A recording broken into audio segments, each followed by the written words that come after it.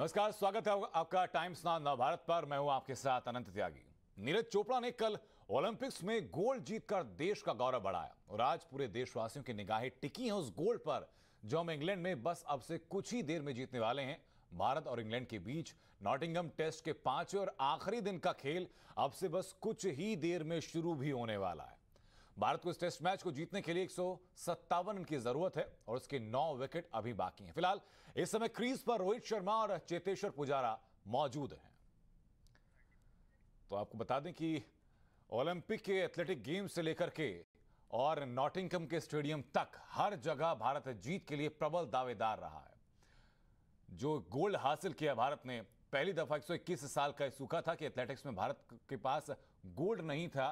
नीरज चोपड़ा ने वो सूखा दूर किया और उसके बाद अब नॉटिंगम के मैच से उम्मीद है कि भारत फिर एक बार विजयी साबित होगा और उसकी एक एक खबर लगातार आप तक हम पहुंचाते रहेंगे। न सिर्फ़ जीत की बेहतर खबर, बल्कि जीत के पीछे की जो वजहें रही हैं, जो एक खासियत रही, रहेगी भारतीय टीम की, वो लगातार आपको बताते रहेंगे। खेल अब से कुछ ही देर में नॉटिंगम में भारत और इंग्लैंड के बीच शुरू हो जाएगा पाँच और आखिरी दिन है इस खेल का जब से कुछ ही देर में शुरू भी होने वाला है। आपको बता दें कि भारत को इस टेस्ट मैच को जीतने के लिए महज एक सौ सत्तावन रन की ज़रूरत है। जो टीम की फॉर्मेशन है, इस फॉर्मेशन को देखने के बाद यकीन हो जाता है कि ये लक्ष्य भारतीय टीम के लिए अभेद्य नहीं रहेगा। इस लक्ष्य को भेद कर एक और जीत भारत दर्ज करेगा। नौ विकेट भारत के पास अभी मौजूद हैं। फ़िलहाल इस वक्त क्रीज पर हैं रोहित शर्मा, आक्रामक बल्लेबाज और ज़बरदस्त बल्लेबाजी की बदौलत। ये उम्मीद है कि रोहित शर्मा एक बेहतर स्कोर को छूने में मदद करेंगे और चेतेश्वर पुजारा इस वक्त क्रीज पर मौजूद हैं। इन दोनों की जोड़ी जोड़ी, ये मान कम चल रहे हैं कि इन दोनों की जोड़ी, ये एक मुकाम हासिल करेगी कि फिर एक बार मैदान पर तिरंगे को लहलाते हुए हम लोग देखेंगे और इंग्लैंड में ये जीत दर्ज करेंगे। नॉटिंगम के, कि जो हिट रन्स रहे हैं, जो हिट पारियाँ रही हैं, वो आपको दिखा रहे हैं साल 2018 से लेकर के विराट कोहली की पहली पारी में सत्तानवे रन ठोके। तो दूसरी पारी में 103 रन ठोके। 2018 का यह ट्रैक रिकॉर्ड आपको हम बता रहे हैं। और न सिर्फ़ नॉटिंगम में, बल्कि उसके बाद की जितने भी मैचेस हुए हैं, विराट कोहली अपने आप में एक न सिर्फ़ शानदार खिलाड़ी, बल्कि एक बेहतर कैप्टन भी साबित हुए हैं। और आज नॉटिंगम में टीम इंडिया जो परफॉर्म करेगी, वो टीम इंडिया ये साबित करेगी कि हमसे बढ़कर कोई नहीं है। इंग्लैंड के जो तीन मुख्य मैदान हैं ओवेल लॉर्ड्स और नॉटिंगम उस पर क्या औसत रहा है? ये आपको बता रहे हैं, साल 1971 से लेकर के उन्नीस सौ छियासी और 2007 174 रन बनाए, छह विकेट के नुकसान पर। 136 2000 उन्नीस में बनाए, पाँच विकेट के नुकसान पर। और नॉटिंगम में अभी तक का तिहत्तर पर तीन 2007 का ये सफल चेज रहा है टीम इंडिया का। रोहित शर्मा और चेतेश्वर पुजारा इंग्लैंड में इस वक्त नॉटिंगम के मैदान पर भारतीय टीम की अगुवाई करते हुए मैदान पर मौजूद हैं। नौ विकेट इस वक्त भारत के हाथ में और ये हम तकरीबन तय मानकर चल रहे हैं कि ये जो एक सौ सत्तावन रन का लक्ष्य है, ये भी आसानी से टीम इंडिया चेज कर पाएगी। और फिर एक बार आपको राष्ट्रगान की वो धुन सुनाई पड़ेगी तिरंगा के ऊपर लहराते हुए। और फिर एक बार हर देशवासी का जो सीना है, वो गर्व से चौड़ा हो जाएगा। एक एक करके तमाम वो हर खबर आपको हम दिखाएँगे जो कि इस वक्त देश के लिए जाननी ज़रूरी है। देश के जाबाज जो विदेशी धरती पर अपने रणकौशल का प्रदर्शन करते हुए लगातार एक मकाम हासिल कर रहे हैं, वो आपको लगातार बताएँगे। आपको बताएँगे किस तरीके से जैवलिन में गोल्ड हासिल करने के बाद नीरज चोपड़ा के स्वागत की तैयारियाँ क्या हैं? देश के अलग अलग हिस्सों में उनकी इस जीत को कैसे मनाया जा रहा है? कितना प्रफुल्लित पूरा देश है और साथ ही साथ बताएँगे आपको कि नॉटिंगम में जो इस वक्त मैच चल रहा है, जो पाँचवें और अंतिम दिन का मैच है, एक सौ सत्तावन रन को बहस चेस करना है टीम इंडिया को टीम इंडिया के पास नौ विकेट, दो जाबाज, दो शानदार खिलाड़ी, चेतेश्वर पुजारा और रोहित शर्मा इस वक्त मैदान पर और मैदान पर जो उनका जौहर है, वो भी फ़िलहाल कमाल दिखाई पड़ रहा है। हमारे साथ, हमारे सहयोगी वैभव इस वक्त जुड़ चुके हैं न्यूज़ रूम से। वैभव, सबसे पहले ब्रीफ कीजिए आज की इस पारी के बारे में जो एक रन को चेज करना है। कितना आसान रहेगा टीम इंडिया के लिए? देखिए, अगर हम बात करें जो एक रन इंडियन टीम को चेस करने हैं, मुझे नहीं लगता कि आपके पास जब नो विकेट आपके हाथ में है तो उसको चेस करने में इंडियन टीम को कुछ परेशानी होगी। हालाँकि परेशानी की जो बात है, वो ये कि नोएडा से लेकर नॉटिंगम तक जो बारिश की मार है वो लगातार हमें देखने को मिल रही है कि जिस तरीके से नोएडा में बारिश हो रही है तो वही नॉटिंगम में भी पिछले एक घंटे से रुक रुक कर लगातार बारिश हो रही है। और अगर बारिश होती रहेगी तो मैच शुरू होने में ज़रूर कुछ देरी हो सकती है। और जब बारिश के बाद मैच शुरू होता है तो जो तेज़ गेंदबाज होते हैं वो कंडीशंस का बहुत अच्छा फ़ायदा उठाते हैं। स्टूअर्ट ब्रॉड की बात करना चाहूँगा जेम्स एंडरसन की बात करना चाहूँगा कि जब ओवरकास्ट कंडीशंस होंगी पिच से मदद मिल रही होगी गेंद स्विंग हो रही होगी तो ऐसे में भारतीय बल्लेबाजों के लिए चुनौती ज़रूर हो सकती है। मैं रोहित शर्मा की बात करना चाहूँगा चितेश्वर पुजारा की बात करना चाहूँगा। सबसे पहले अगर चितेश्वर पुजारा की हम बात करें world test championship part one जो शुरू हुआ था तब से लेके अब तक चेतेश्वर पुजारा के बल्ले से हमने कोई बड़ी पारी नहीं देखी है। तो ये मौका है चेतेश्वर पुजारा के पास जो पिछली नाकामियाँ हैं उनको दूर करते हुए एक बड़ी पारी खेले और यहाँ से अपनी जो जगह है उसको पक्की करे। क्योंकि अगर इस पारी में पुजारा से रन नहीं निकले उनके बल्ले से तो आप ये मान के चले कि अगला जो दूसरा टेस्ट मैच है, वहाँ चेतेश्वर पुजारा ज़रूर रिप्लेस हो सकते हैं। अब बात करते हैं रोहित शर्मा की। पहली पारी में रोहित शर्मा ने धमाकेदार बल्लेबाजी की थी। अट्ठावन रन बनाए थे और आज हम सब एक्सपेक्ट कर रहे हैं रोहित शर्मा से कि 12 रन पर इस समय नाबाद है। कल बहुत अच्छी उन्होंने बैटिंग करी। संभल कर बल्लेबाजी की उनका साथ के राहुल लगातार देते रहे हैं। चाहे पहले पारी हो, चाहे दूसरी पारी तो इन दोनों की जोड़ी ने आपको एक अच्छी शुरुआत दिलाई है। और जब आपको 200 के आसपास रन चेस करने होते हैं, इंग्लैंड में चौथी पारी में, आज तक भारत कभी वो चेस नहीं कर पाया जो ग्राफिक्स हम अपनी टीवी स्क्रीन पर दिखा रहे थे कि 200 से ऊपर का लक्ष्य, भारतीय टीम कभी भी चेज नहीं कर पाई है चौथी पारी में इंग्लैंड में। तो आज अपने आप में बहुत बड़ा चैलेंज इंडियन टीम के सामने ज़रूर रहने वाला है। तो रोहित शर्मा पे निगाहें रहेंगी साथ ही निगाहें होंगी आपकी कप्तान विराट कोहली के ऊपर जिनका बल्ला भी पिछली काफ़ी समय से अगर मैं कहें बड़ी पारी 2019 में आखिरी बार नवंबर में विराट कोहली ने कोई इंटरनेशनल क्रिकेट पे शतक जड़ा था। देखिए आज हम्म। विराट के बल्ले से में शतक की तो ज़रूरत नहीं है। अगर विराट कोहली 40-50 रन भी आकर बना देते हैं तो आप ये मान के चलिए कंफर्टेबली इंडियन टीम इस मैच को जीत जाएगी। और जिस तरीके से जो हमारा देश है वो पूरी तरीके से इस समय जश्न में डूबा हुआ है जो स्पोर्ट्स में ओलंपिक्स में नीरज चोपड़ा ने कल किया बजरंग पुनिया ने किया पीवी सिंधु ने किया हमने इस बार ओलंपिक्स में एक नया कीर्तिमान बनाया। तो आप ज़रूर चाहते हैं कि जो शनिवार था वो आपके लिए एक सुपर शनिवार रहा। तो आज जो संडे है एक तरफ़ ओलंपिक की क्लोजिंग सेरेमनी हो रही होगी और दूसरी तरफ़ आप चाहते हैं कि भारतीय टीम इस मुकाबले को जीते और जो पाँच मैच की टेस्ट सीरीज़ है उसमें एक शून्य की बढ़त बनाए। तो इम्पोर्टेंट है ये हर किसी के जहन में इच्छा है कि जीत का जो सिलसिला शुरू हुआ है ये थमे हमारे साथ सरनदीप सिंह जुड़ चुके हैं पूर्व सेलेक्टर हैं। सर बहुत स्वागत आपका टाइम्स नाउ नव भारत पर। मैं सबसे पहले आपकी उम्मीदें जानना चाहूँगा आज के मैच को लेकर के ये पाँच और अंतिम अंतिम दिन का मैच एक का जो लक्ष्य है वो चेज करना है। टीम की फॉर्मेशन और अभी तक की परफॉर्मेंस के मुताबिक आपका एनालिसिस क्या कहता है? नहीं, देखिए, बिल्कुल, देखिए, पहली बात मैं कहूँगा कि जैसे वैभव ने बोला कि नोएडा से लेकर नोटिंग तक बारिश हो रही है, वो बारिश वसंत कुछ में भी हो रही है तो ये एक बहुत बड़ा फैक्टर रहता है किसी न किसी प्लेयर के माइंड के ऊपर कि हाँ अभी कंडीशंस कैसे होंगी, अगर बारिश किस, कितनी समय तक रहेगी, कितना समय हमें मिलेगा तब किस समय पे मैच शुरू होगा तो ये एनालिसिस पहले से शुरू हो जाते हैं। तो वहाँ कहीं ना कहीं आपके मेंटल फैक्टर पे एक फैक्ट ज़रूर पड़ता है। लेकिन उसके बाद अगर भारतीय बल्लेबाजी की बात की जाए तो इससे बैलेंस बल्लेबाजी और एक्सपीरियंस बल्लेबाजी नहीं हो सकती। अगर मैच प्रॉपर टाइम से शुरू हो या किसी भी समय पे शुरू होता है तो मुझे नहीं लगता कि ये ज़्यादा से ज़्यादा एक या दो विकेट पे गिरेंगी सात आठ विकेट से भारत इस टेस्ट मैच को इजीली जीत जाएगा। क्योंकि एक्सपीरियंस बल्लेबाजी है। रोहित शर्मा चेतेश्वर पुजारा विराट कोहली अजिंक्य रहाने उनके बात करें ऋषभ पंत एक सारे सारे के एक, एक अच्छी फॉर्म में और एक मैच विनर प्लेयर्स है और काफ़ी समय से खेलते आ रहे हैं। तो इतनी ज़्यादा मुश्किल मुझे नहीं लगती। मुझे लगता है अगर मैच सिर्फ़ टाइम पे शुरू होना चाहिए और अच्छी कंडीशन होनी चाहिए बाकी भारत के लिए आसानी से मैच जीते जाएगा। बिल्कुल। यहाँ में सर की वैभव कुछ बोलना चाह रहे हैं सर। वैभव बताइए। अच्छा शरण आपने जिस तरीके से कहा कि इंडियन टीम के जो आपने नाम गिनाए बहुत बड़े बड़े नाम है बहुत दिग्गज नाम है।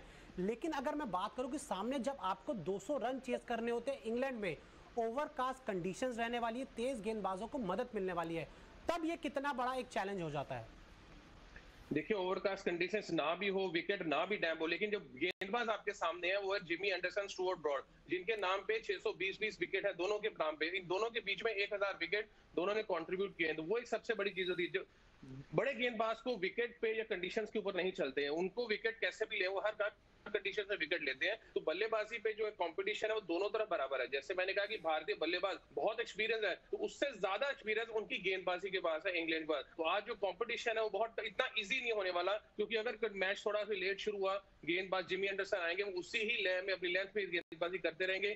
कोशिश यही करनी चाहिए कि थोड़ा सा समय लें, और जब सेट हो जाए, और जो जो अपॉर्चुनिटीज़ आपको मिलती है, खासकर पुजारा की बात करना चाहूँगा रोहित को जो मिलेगी वो तो अपना एग्रेसिव गेम खेलेंगे विराट भी वैसे खेलेंगे पर पुजारा को थोड़ा सा एग्रेसिवली खेलना ही पड़ेगा। ऐसा नहीं होना चाहिए कि एक तरफ़ से अगर मैच बंद हो रहा है शुरू हो रहा है बंद शुरू हो रहा है आप बिल्कुल ही चीज़ों को अगर ब्लॉक कर देंगे तो फिर प्रेशर क्या होता है? रोहित के ऊपर ज़्यादा आ जाएगा। सरनदीप जी मैं बीच में एक सवाल और जाना चाहूँगा जैसा कि वैभव ने भी कहा कि चेतेश्वर पुजारा पिछले काफ़ी वक्त से अपनी बेस्ट फॉर्म में नहीं दिखाई पड़े साथ ही साथ वही विराट कोहली की बात करते हैं अगर विराट कोहली तक नंबर ये पहुँचता है उनका खेलने का नंबर पहुँचता है तो विराट कोहली के साथ भी 2019 का ज़िक्र वैभव ने भी किया, उसके उसके बाद से कोई बड़ी पारी नहीं खेली है।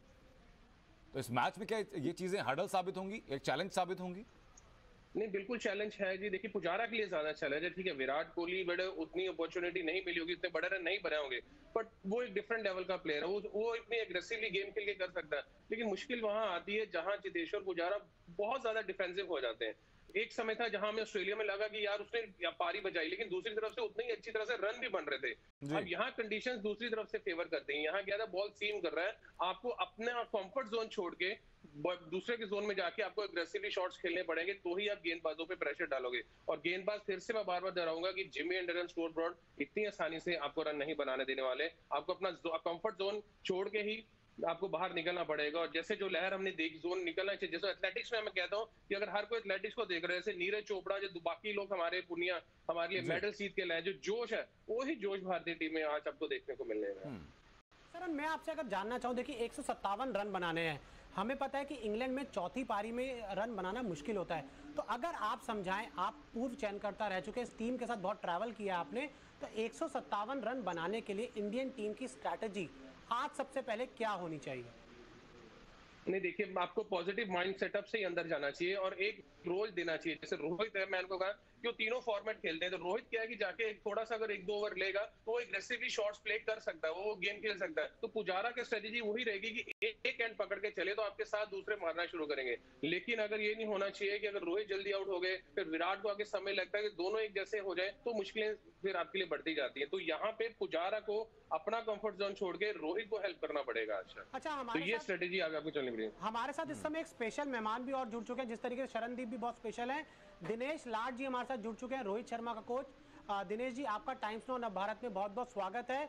आप रोहित के कोच रहे तो आज रोहित से पूरे देश को उम्मीद है कि जो कल काम नीरज चोपड़ा ने किया, आज रोहित शर्मा अपने बल्ले से वही काम नॉटिंगम में करें, दिनेश जी।